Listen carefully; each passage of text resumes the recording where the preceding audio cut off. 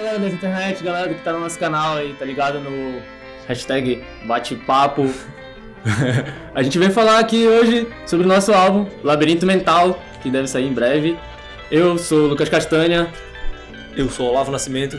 E eu sou o Thiago Ribeiro. que a gente foi descobrindo ao longo do tempo, assim, né? Na verdade, a gente foi tocando essas músicas, foi fazendo show com elas, a gente participou de festival com algumas das músicas, e muitos de vocês já devem conhecer a maioria das músicas e tal. E a gente foi descobrindo, através dos ensaios, assim, o, que todas elas têm uma interligação, né? É, as letras, eu participei de quase todas, né? O Thiago também tá desde o começo da banda, o Olavo também participou de muita coisa nas letras. Mas eu, eu que participei de quase todas as letras, assim, posso dizer que tem muita coisa de, da minha espiritualidade, das minhas experi experiências introspectivas, assim, sabe? É, das, das, nossas vivências também de rua, né? música na rua e tal. É, outras, enfim, nossas vivências como músicos mesmo, assim. A gente tem várias influências diferentes. E a, a, o labirinto mental é isso. A gente trouxe um monte de influência de diversos lugares. É, trancamento, Oteiro, Icoracica, Banagem. É, tipo, o fato de eu conviver com o Castanho desde o começo, né, da banda, tipo, a gente tá desde a primeira formação, e eu vivenciei com ele essas experiências, tipo, muito de perto, então para mim foi mais fácil reunir é, essas ideias do, das letras das músicas que ele escreveu e escrever uma história, e dessa história surgiu o conceito do álbum, que veio, tipo, depois das músicas.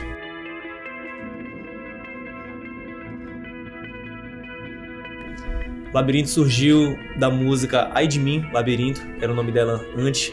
Era uma composição que o Lucas trouxe e a gente começou a trabalhar nela mesmo em meados de 2017. E aí trabalhamos, fizemos a parte instrumental, já nós três basicamente.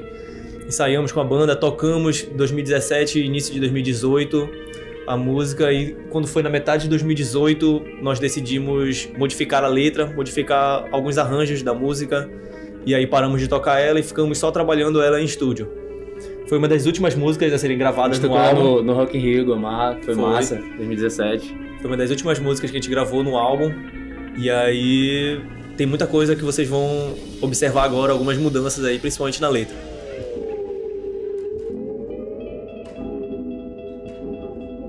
Bicho Solto é uma composição do Lucas com o Vitor, é, inicialmente, também trabalhamos nela junto com, com o Labirinto depois, né? Em 2017, já fechamos ela, fechamos arranjos, solos, algumas dobras, algumas coisas mudaram, alguns versos entraram novos também de letra. E ela é uma música super forte, né? Super Sim. rápida. Ela tem muita força ao vivo, tem... muita energia, assim. É, uma pegada, mais, uma pegada mais pra frente mesmo, assim, uma pegada rockona mesmo. É, e a gente tinha muito aquela pegada de, daquela galera que tava tocando nessa época, King Gizzard, assim, sabe? É, Temple, dessa galera, assim. Essa, é uma influência mais, mais por aí, mas também tem outras pegadas, já tem uma, uma coisa do heavy metal ali e tal, que é. Que já, a gente já trouxe o, o, a nossa pegada mais recente, assim.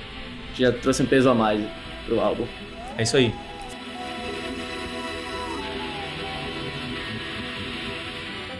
É, o Felipe fez o, as intros, né? A parte instrumental do começo, por mais que ele não esteja aqui, ele mandou algumas impressões que ele teve né, nessa época. A música é dele, mas a letra é minha, o nome eu dei, né, a ponte. Aí depois ele falou que é, que isso fez todo sentido assim para ele, né? Porque ele passava todo dia por lá e tudo mais. Mas é uma interligação nossa também, né? Porque eu, como eu, eu escrevi ela é, por causa das minhas experiências é, espirituais e tudo mais, aí ele acabou achando fez todo sentido pra ele, sabe? E é isso, é isso que é o álbum. Depois a gente colocou a parte do meio, né? Já fiz uma parte de letrinha lá do meio. E a música, assim, não mudou muito do, do começo, tá, mais a parte tá arranjo mesmo. Do caralho. Tá do caralho, tem participação do Heron Rodrigues, percussionista do Caruana. Grande abraço, meu amigo.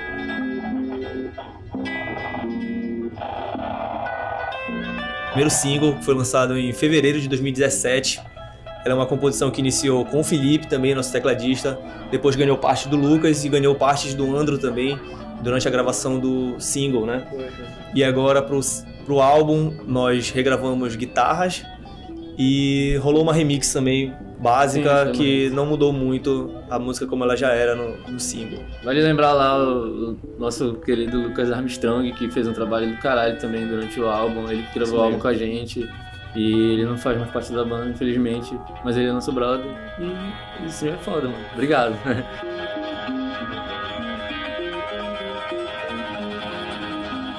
As Portas também surgiu lá no 2017, né? Começamos a trabalhar nela, com as novas levas das Essa composições. foi a primeira música que a gente, que a gente começou a fazer junto.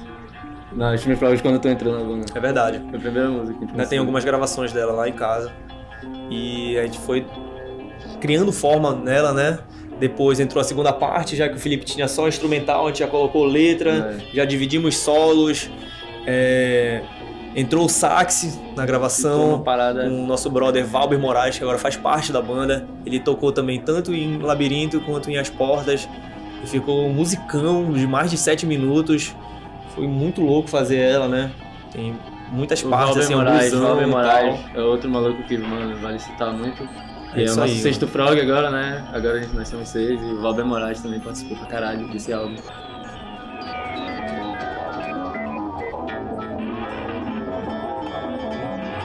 Bom, galera, agora a gente vai falar um pouco aí sobre o processo de gravação da parada, que foi uma odisseia.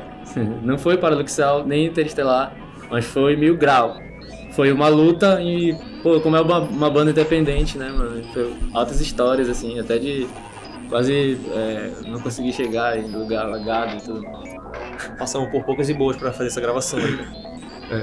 Que a gente, pô, a gente começou em 2009, 2009, 2010 a tocar música autoral, tocar rock já, né? A gente tocou metal, tocou um monte de coisa e, tipo, finalmente a gente conseguiu. A gente vai conseguir fazer o nosso primeiro álbum, né? Nosso primeiro disco. Apesar de a gente já ter lançado o Cambô, né? Que foi um EP, foi uma parada que surgiu também. é, Mas assim, nosso primeiro discão mesmo e só isso já, já, já rende um monte de história assim nos nossos bastidores, né? Tipo, de noites mal, mal dormidas, assim, porque a gente fica imaginando um monte de coisa na cabeça. Enfim, é muitos sonhos, são muitos sonhos envolvidos e muito corre e, e, e uma grana pra quem é isso. Onde tá? desde o início. Já pensou? Desde o início de tudo.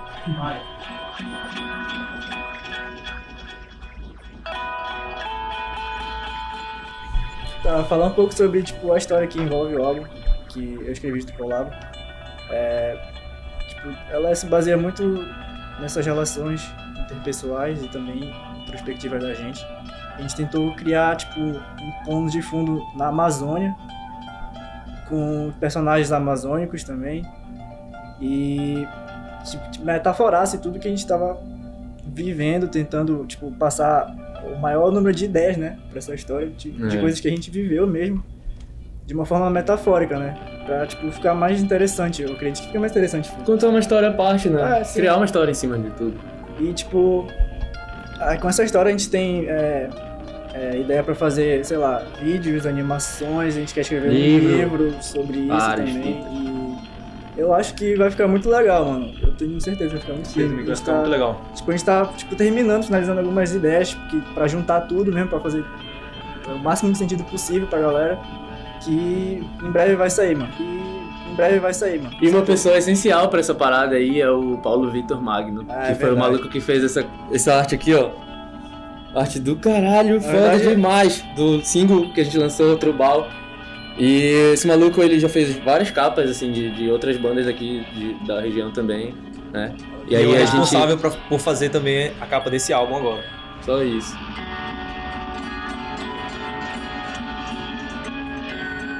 Agora vai rolar umas perguntas, a galera do Instagram, nossos famegantes aí. E uma galera que perguntou sobre o que que vai rolar no álbum, né? O que, que tá acontecendo? O que vocês fazem?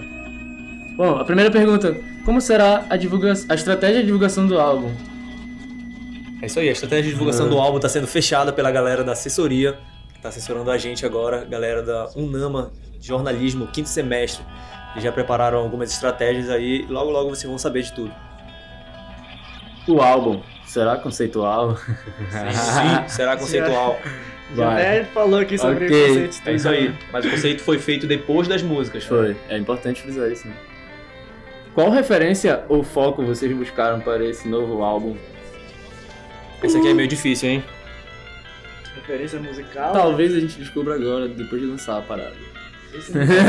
A referência que a gente usou, as musicais, são as que a gente já vem trazendo. Tem algumas coisas novas que são já de coisas experimentais eletrônicas. Né? O, o rock setentista vai ter, mano. Selado. A gente bebeu nessa fonte.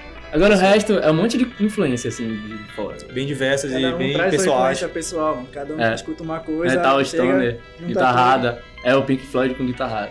É isso aí. É isso aí. É... Terias com as manas. Bom, eu vou dizer, eu vou até agradecer, né? Já antecipando, assim, as manas que trabalham com a gente, a Paola, Bernardino, já tirou altas fotos, é, tá sempre com a gente nos shows, tá na nossa lojinha sempre. E a Flávia, Flor também. ó, ela tá sempre apoiando a gente com figurino e tudo mais, e com a animosidade dela. E a nossa mais nova integrante da equipe, Amanda Furtado, nossa produtora executiva. Tá procurando fazer uma parceria com alguma pessoa que, que, que faça show com a gente, né? Já é uma coisa que a gente tem buscado, é uma voz feminina pra trabalhar com a gente no show. A gente já trabalha esse tipo de voz, assim, na banda. E acaba que sou eu que gravo, mas é uma, é uma, uma coisa que sempre tá aberta aí pra gente. A gente tá sempre aberto a muita coisa.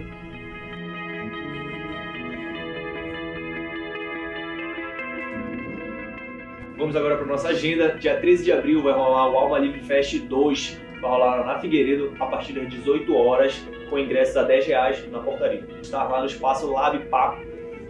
Pega Lab Paco, é muito engraçado. Caralho. Falar, falar antigo. Lab Paco. Fala, pega, Lá vai, lá vai de novo. Mas tá bacana, tá bacana de colocar essa parada.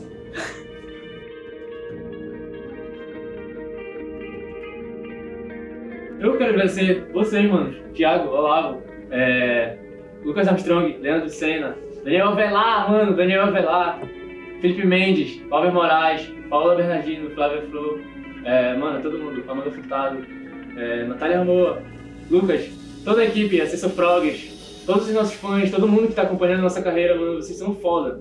Se não fosse por vocês, eu acho que a gente já tava definindo. Mas, é, vocês estão apoiando a gente de uma maneira incrível, tanto que a gente tá aqui hoje, sabe?